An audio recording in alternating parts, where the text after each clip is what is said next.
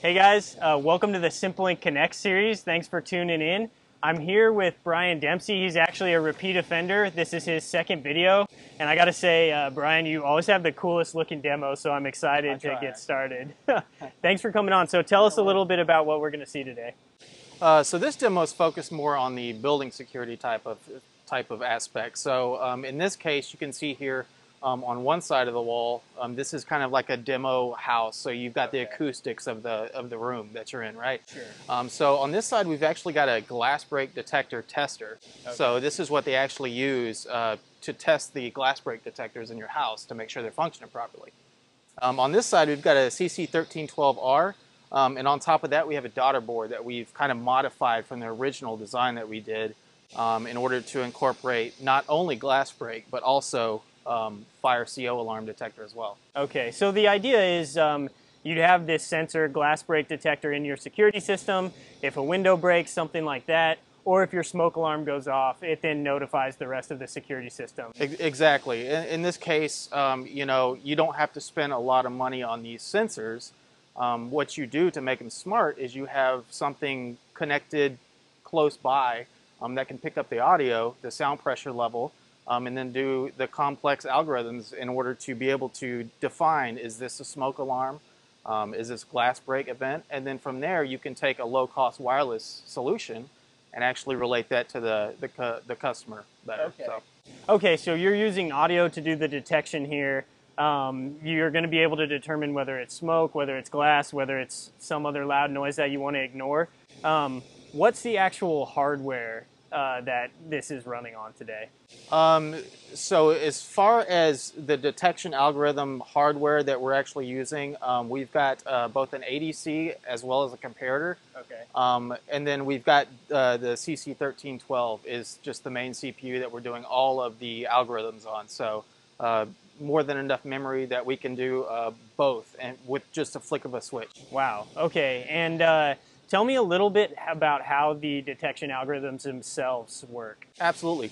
Um, so they're relatively different um, based on the fact that um, it's, it's much easier, um, at least in my opinion, as the developer of the algorithm, um, to do the smoke detector because UL standards uh, dictate the, the sound pressure level, um, okay. 85 decibels at 85 or 85 decibels at 10 feet, okay. um, as well as um, the temporal pattern. Um, so there's a very distinct pattern, a very distinct uh, decibel level that you get with these. Um, also, the frequency. So around uh, three kilohertz is where we're, you know, where we're at on this one. Um, they also have uh, lower tone ones for people who might not um, be able to pick up the higher frequencies. Sure um, which are like 480 to 520 hertz.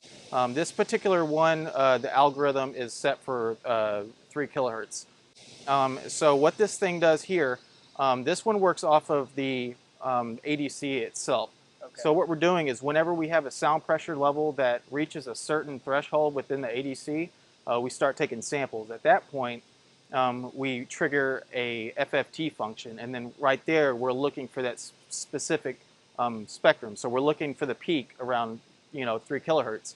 Um, and then we also do the temporal pattern because just because you have something in the 3000 hertz range, you know, that doesn't necessarily mean it's a fire alarm. Sure. So you have to check for repeatability. Yeah. Um, so based off of the difference between the two tones, um, the sound pressure level activation between the two tones on the onboard microphone, um, we're able to tell, um, you know, if we've got uh, a fire alarm. Gotcha. So, okay. with that being said, um, the glass break is slightly different. So this one, um, there's a lot more uh, random, randomness, I guess you could say, uh, with respect to the frequency spectrum. Um, so in that case, we actually switch over to a window comparator. Okay. And so from there, we're using the same principle, sound pressure level. We're looking for a, a, a very low, um, undetectable for humans thud um, before the actual shatter. Right. So there's a, a, thud associated with it before the actual shatter. Right. Um, and so based off of that, um, that's where the sound pressure level comes in with the, the comparator. Um, once the comparator interrupts the main ADC, it starts streaming data. Um, and then it goes into an algorithm that's not only using um, an uh, FFT, um, it's also using zero point cross detection. Okay. Um, so we want to see how random it is, um, as well as how random the FFT is. You know, if you have a very specific, um, you know, I guess envelope shape to the FFT, then you know it's probably not going to be glass break because you know it's a very random, random event. So. Sure. Yeah, so some safeguards to make sure it's indeed a glass break. And all of that's running on the CC1312R in this case, which is the Cortex M4 uh, device.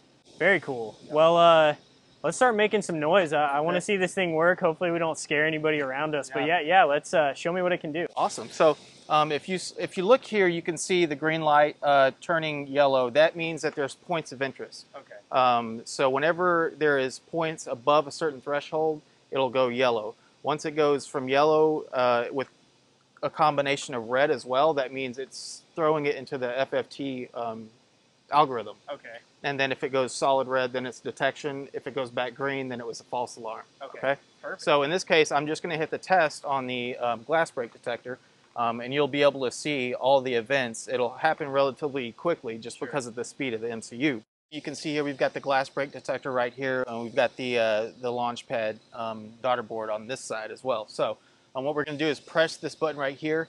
Um, if you look over on this side, you can see the different um, parameters we've got here. So the we can actually do an external uh, microphone as well if we wanted to. Um, you can switch between two different kind of components. Sure. Um, and then here uh, we've got actually distance, so we can actually uh, hone in the gain of the um, actual audio based off the distance. So this is about a foot, so I've got it on one foot. We also have five and ten feet. Oh, So perfect. and it works at about thirteen to fourteen. But So it can um, adapt to the space it's Exactly, deployed exactly. So, so um, you can see there's a little hole right here by the the uh, the pins over here, and that's where the actual uh, microphone is. So I'm going to go ahead and press this, and you'll see, um, I guess, the progression um, between the the lights. You know, green is good.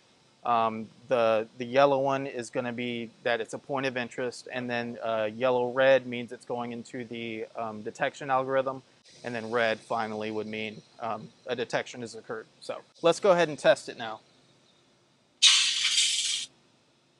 You can see there it turns red, so we have a, a, a detection. So Gotcha. um, you know, really cool to be able to do this. Uh, so now, if we take uh, the same setup, except we've removed this, we've got a little adapter here with, uh, you know, just a little ordinary fire alarm. Um, so what we're going to do, we're going to stick that on there. Um, and in this case, uh, we're going to also switch this um, from glass break to fire CO alarm detector. So, you know, essentially we're just doing the same thing, except we're in a, a completely different detection algorithm with the, the, you know, the cross, uh, cross, um, the zero crossings and stuff like that. So, Sure. um, and then after that, we can go ahead and reset it. Okay. All right, and then we're ready to go. So we go ahead and push this.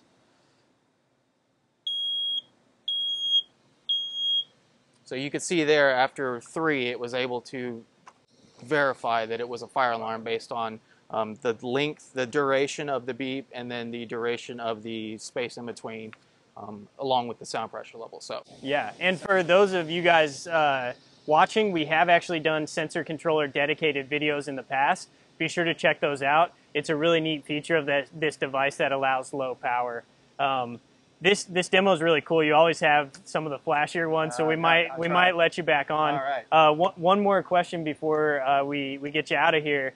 Um, you mentioned a house. You mentioned the wireless piece. Can you tell us kind of how this scales between a house, an office, a building, et, et cetera? Absolutely. So, uh, smaller industrial type uh, settings, I guess like office buildings or something like this, could could definitely use the same thing. So, you know, you can get a ten dollar smoke detector, uh, a you know low cost uh, glass break detector, and then by retrofitting them with uh, devices like this, a solution that you know has the, the wireless capability at a low cost um, and low power consumption as well. Um, you know, you're able to scale that very well. So now, if we go to a larger building, um, you know, we take the sub one gigahertz. We've got a longer range. Uh, we can have a central hub that is kind of you know switching between each one of them to the you know see if they have a detection. Yeah. Or you can just simply have the node um, throw an interrupt on the main one. Perfect. So, So- it can deploy in a house. It can deploy in an office. Anywhere, Um, last thing, tell them, uh, tell tell those watching where they can get started if they want to start playing with this technology. Absolutely. So um, we actually have something out on the web now. It's uh, TIDA 01519.